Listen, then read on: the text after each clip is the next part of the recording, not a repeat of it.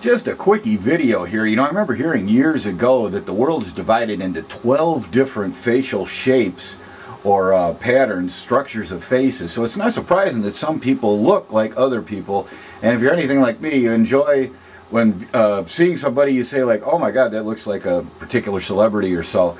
Well, this is an old clipping I found in a magazine from the 40s. And these are actually members of uh, the Dick Haymes fan club.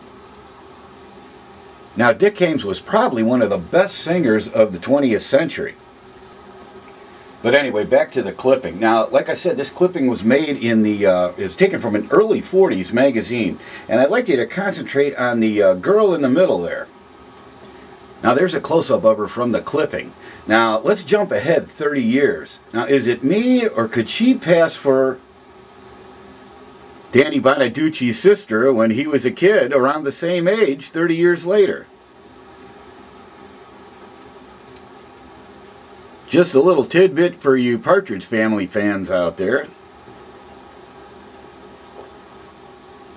Well, thanks so much for watching this absurd video.